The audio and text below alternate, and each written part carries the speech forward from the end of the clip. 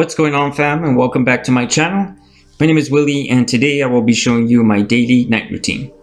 If you're new to my channel, I am a C5, C6 quadriplegic. I'm currently in my home office. Now I do this routine religiously whatever time I decide to go to bed.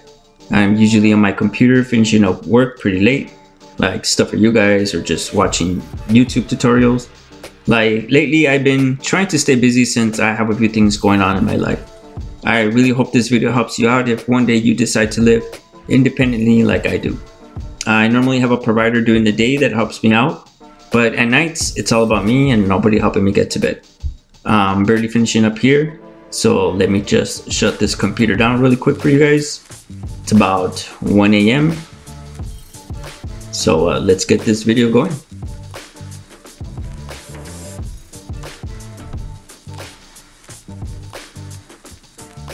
Now, if you've seen my uh, previous videos, I was living with somebody for a few years and now I live alone. So there's a lot I've learned these past few years, you know, good or bad. I speeded up this video a bit to cut down on time spent filming since there's a few camera angles I wanted to get for you guys to see better. I do have a suprapubic catheter and I will first show you how I empty my urine bag. Now the way I do it is I tilt the bag uh, so the urine goes towards the top of the bag. This way I avoid anything being spilled on me. Uh, I just make sure the bag isn't leaking, you know, from wear and tear. So be careful if you decide to do this. Once I have tilt the bag and let the let it drain, uh, just remember to shake it real good, you know, just in case there's little little bit of urine in the tube. Now, it's pretty much the same process to close it. I struggle a bit, but it's not too bad. I usually drain my, my urine bag two times a day and before I go to bed, whether there's a little or a lot. Urine's a little dark since uh, I'm taking medication, so it changes the color. So please guys, remember to drink plenty of water. UTIs are a nightmare. Although I use my wheelchair gloves to open the urine bag, I always make sure to wash my hands afterwards. I really don't like touching my toothbrush or anything around the sink wearing my gloves. Um, they're pretty dirty and you know, I'm a very clean guy when it comes to this. So this is very essential for me, especially at the end of the day, you know, just to make sure that uh, my hands are not too dirty. And of course, brushing my teeth. Now I do have uh, a tube which has a little pop off top. Uh, I used to have the screw on top, but it was more of a workout, you know, trying to get the top back on. So using this pop off top has been pretty easy. And since I live alone, you know, it's just pretty much me.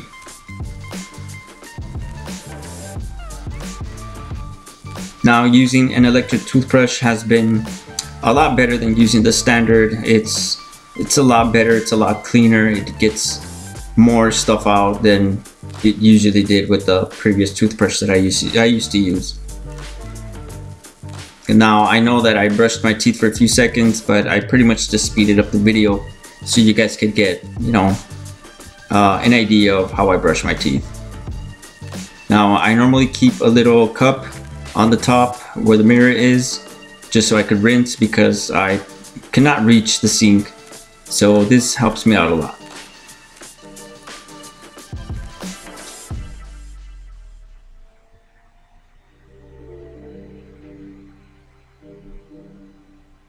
Now I make sure to rinse the cup and once I have, I put it back where I got it from. Now before I finish, I always rinse with mouthwash. Uh, it tends to get some of the stuff out that might have been left behind. It normally works. Now, unfortunately, it is a screw top. Um, the little bottle was a lot better than the bigger bottle. Uh, the, the bigger bottle was too heavy for me to, you know, hold on to and way too slippery since my hands are wet at this point. So this pretty much worked off a lot better. Now I got pretty lucky this time putting the top on. Usually it takes me a little bit longer. So practice makes perfect guys. And as you can see, everything slides off my hands.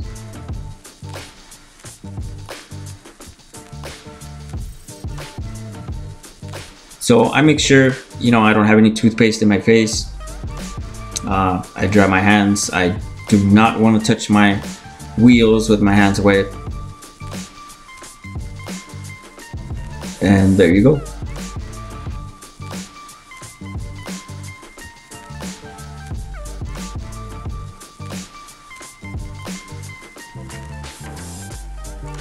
I usually leave one light on, which is the one in the hall. I make sure that I turn off the rest of the lights. I sometimes leave the TV on for background noise, that's just a personal preference. But usually the reason I leave the light on is because in case there's an emergency and you know EMS needs to get through, you know, they can at least get a visual of the apartment and you know come to me right away. So that is the reason. So after I'm done with that, I make sure to put my chair next to my bed as close as possible. I do have a weight that's at the bottom. Uh, the reason I have that weight at the bottom is to put the chair so it won't move because unfortunately I do not have a right brake, only a, a left brake. So this pretty much helps me stop the chair from moving once I transfer into bed. But before I do, I make sure that, you know, if there's anything on my lap, I go ahead and put it in, you know, or throw it into bed. Using my wheelchair gloves, it, it really helps me uh, grip once I transfer into bed. I've tried transferring just without them and it's pretty difficult because my hands are very, very smooth. So I tend to, you know, slide all over the place.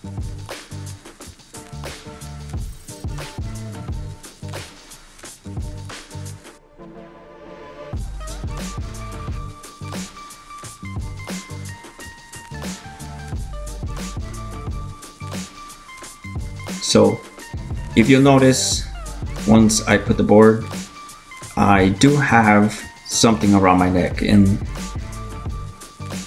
that's my call alert. I usually keep it with me. Uh, reason being is because I I don't want to risk falling and not being able to call anybody.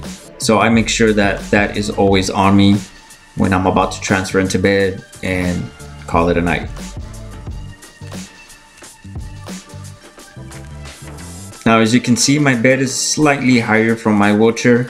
I recently added a frame at the bottom so it gave it a little bit of height. But you know due to the fact that I'm working out and I stay active this isn't too bad. So I'm able to get into bed pretty pretty easy in my opinion. Now once I slide it onto bed I normally throw my legs on top of the chair just so I can scoot back once I got them up there. This really helps me, you know, try to push back and get into bed.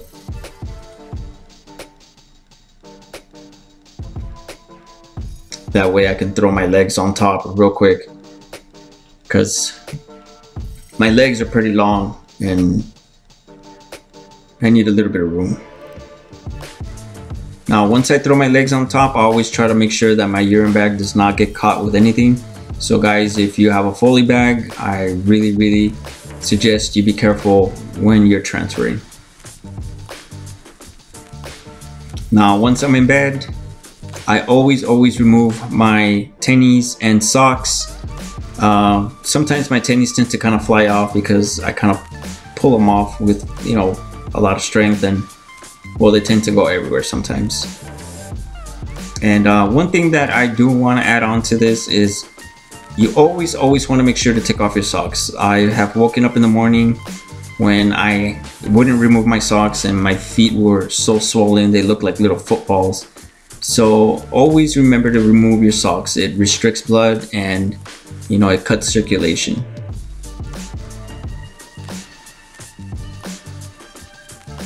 I always try to put everything on the chair, but unfortunately, I tend to just kind of throw it to the side.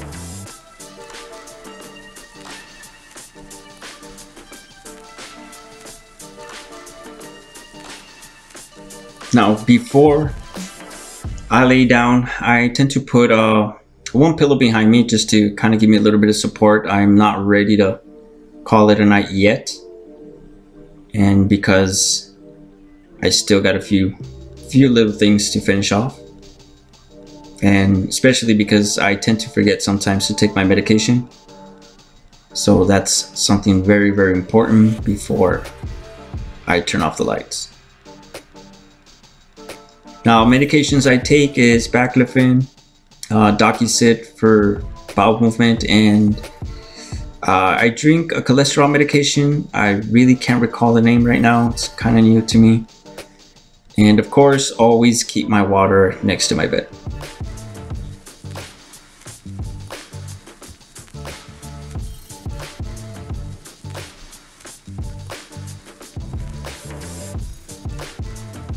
Now, once I've taken my medication, I will remove my shirt and this is where my gloves really, really help out.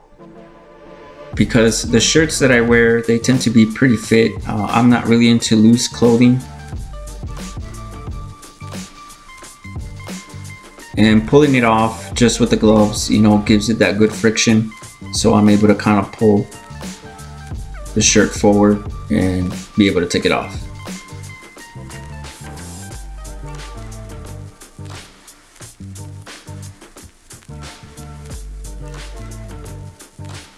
Now, normally in the summer, I take off my pants just simply because it's it gets really really hot in my apartment.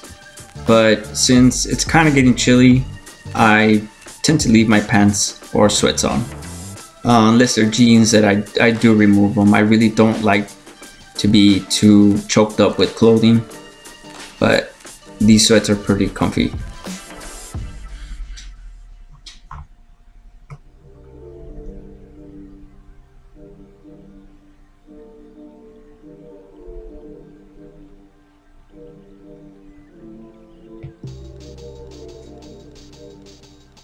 Now I always turn to my left. I make sure that my urine bag is kind of hanging off the bed so it can drain. And I'm ready to remove the pillow. And to turn off the light, I use a curtain rod, a standard urine rod, I mean a curtain rod. That way the end kind of hooks and hits the, the light the switch light, I'm sorry. And I tend to put the, the curtain rod inside the glove, so that's how I pretty much hold it. You can see I slide it in the glove. Now, I do want to say living alone has great benefits and challenges. It's easy to isolate yourself from the world and fall into depression and become antisocial. So stay active and positive, guys. It's not easy. It's 3 a.m., guys, and it's time for me to hit the sack. Thanks for watching and don't forget to subscribe. Peace.